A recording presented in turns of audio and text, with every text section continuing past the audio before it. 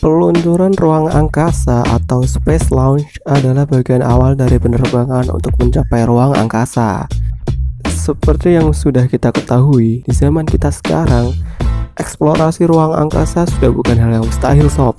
Karena dengan kemajuan teknologi yang sangat pesat dan didukung dengan alat-alat canggih, banyak di antara ilmuwan dari bangsa manusia sudah bisa melakukan perjalanan ke luar angkasa. Untuk melakukan hal tersebut, biasanya mereka menggunakan sesuatu yang biasa, yang bisa terbang yang biasa dinamakan roket. Tapi nggak semua peluncuran roket berakhir mulus. Nggak jarang karena kesalahan perhitungan, peluncuran itu gagal bahkan sampai merenggut nyawa para penumpangnya sob. Seperti yang akan kalian lihat di sini. Inilah peluncuran roket yang gagal menurut mantan YouTuber. Jadi sebelum masukin di videonya, jangan lupa subscribe, like, komen, dan share sebanyak-banyaknya supaya channel kecil ini bisa semakin berkembang lah Lut.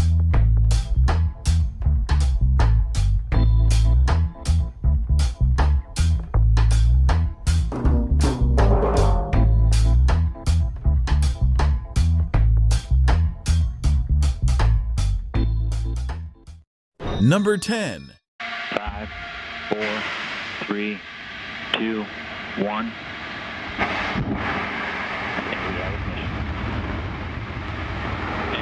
liftoff of Antares with the Orb-3 missions that brings Cygnus on its third CRS mission to the ISS. Got main engines at 108%. Avionics power Attitude nominal.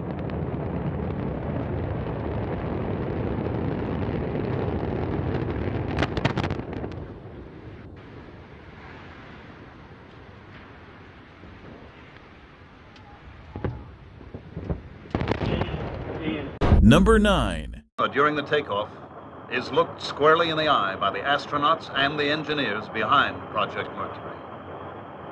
This booster was not a Mercury vehicle, but imagine the worst possible situation for the astronaut that his capsule is now mounted on top of this Atlas. The escape rocket takes the capsule away from the booster.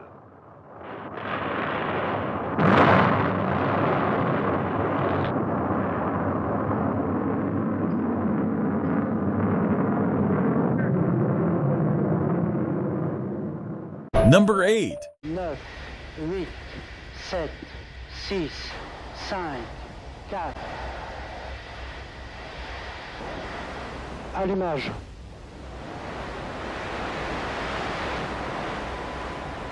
Décollage.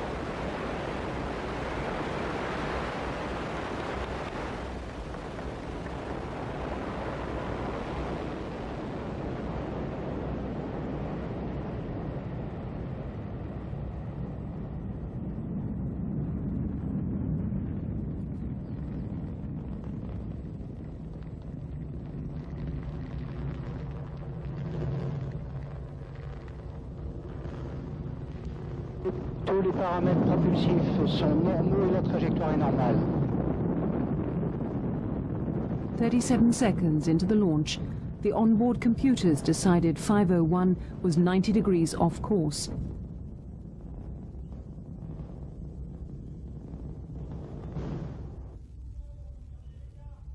Number 7.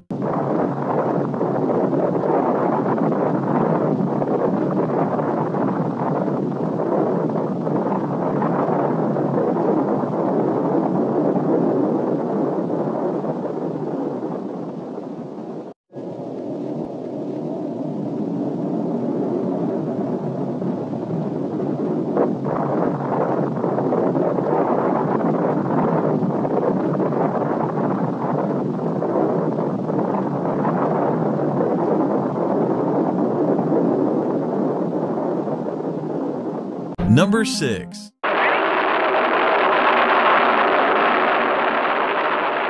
missile was launched successfully, and the flight proceeded according to plan for some distance. During this time, the missile was stable in pitch, yaw, and roll.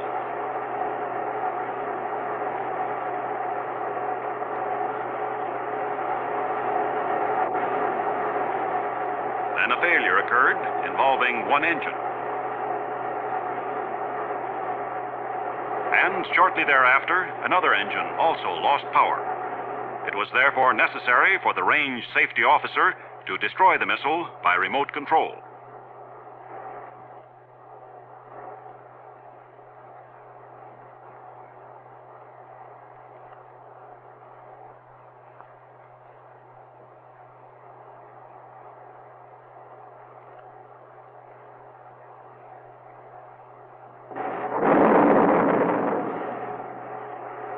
Debris from the missile fell on the test base and in the sea just offshore from the base.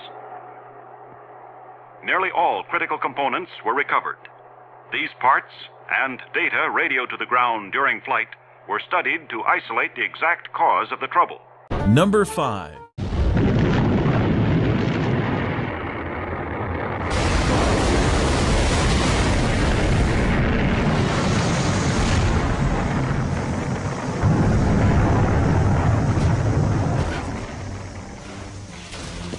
One in five Titan rockets fail.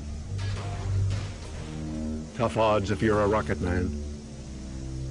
Number 4. Three, two, one. Ignition sequence start and liftoff of the SpaceX Falcon 9 rocket, adding to the International Space Station access for future American rockets. And Falcon has cleared the tower. Stage one propulsion is nominal.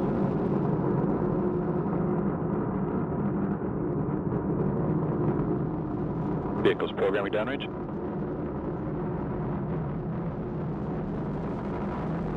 Stage one propellant utilization is active.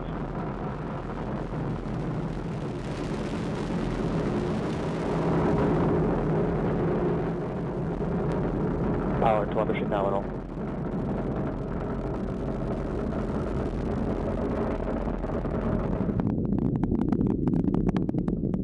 Power and telemetry remain nominal.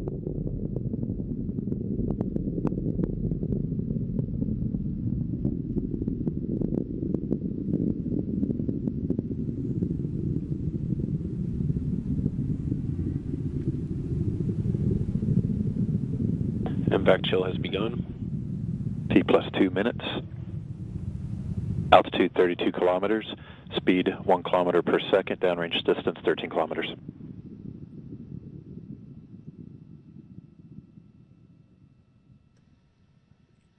Daddy coming back shows vehicle on course, on track.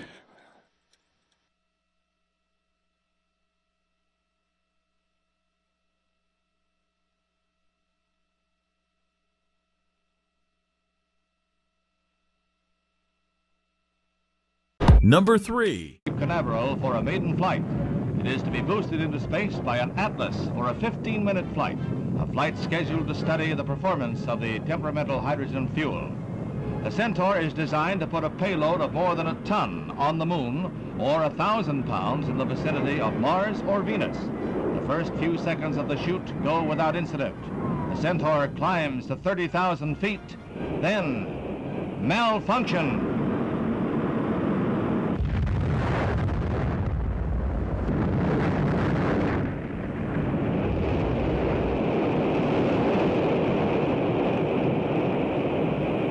The immediate cause of the explosion is not known. But if it happened in the Atlas booster, it means a probable delay for the next U.S. orbital flight by astronaut Malcolm Carpenter.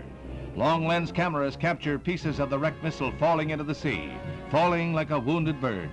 However, in the race for space, scientists find progress in every failure. Number 2.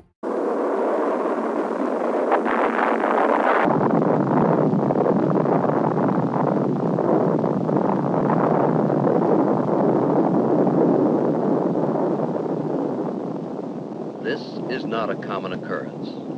In this case, there were no human casualties.